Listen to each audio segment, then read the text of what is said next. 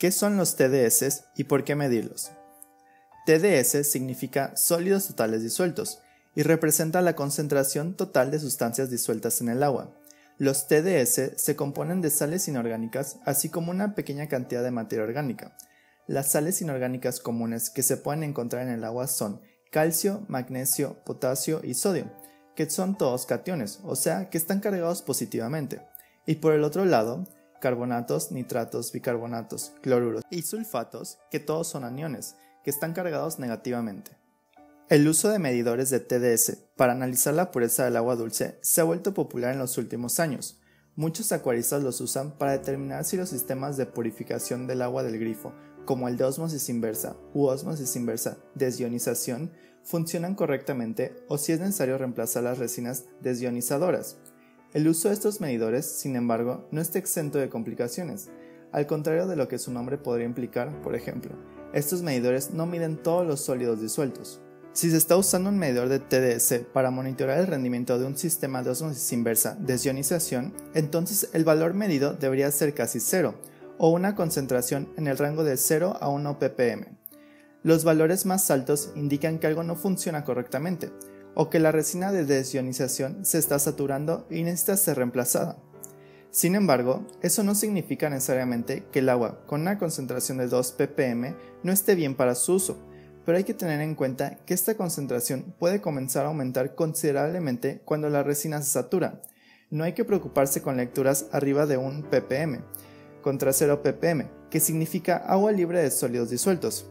Mientras que el agua pura tiene un TDS muy por debajo de 1 ppm, la incertidumbre del dióxido de carbono en el aire que entra al agua y se ioniza para proporcionar algo de conductividad y el propio medidor de TS puede arrojar resultados de 1 o 2 ppm incluso para el agua pura. Y para este video realicé unas mediciones con tres tipos de agua distintas para que puedan darse una idea de la cantidad de TDS que podemos encontrar en cada una. La primera muestra de agua es del grifo y registra una concentración de 646 ppm, la segunda muestra de agua es de mi filtro de osmosis inversa desionización y registró una concentración de 26 ppm. Hago énfasis en mi filtro porque después de estar un año y tres meses sin funcionar, lo pude volver a instalar y esta fue la medición que obtuve, la cual me está indicando que debo reemplazar los filtros, porque la concentración de TDS que se debe tener después de que el agua pasa por un filtro de osmosis inversa desionización es por debajo de una parte por millón, pero este ya será tema para otro video. Y por último, una muestra de agua purificada, la cual registró la menor concentración de las tres, en este caso con una concentración de 5 ppm. En conclusión, la utilidad de medir los TDS es para conocer cuándo es necesario reemplazar el filtro de desionización de un sistema de osmosis inversa desionización.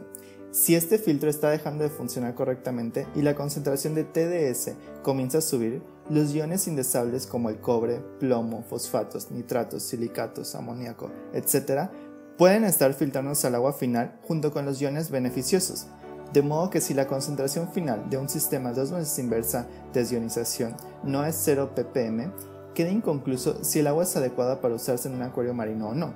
Por eso es que una concentración de 0 ppm es preferible y evitarse dudas.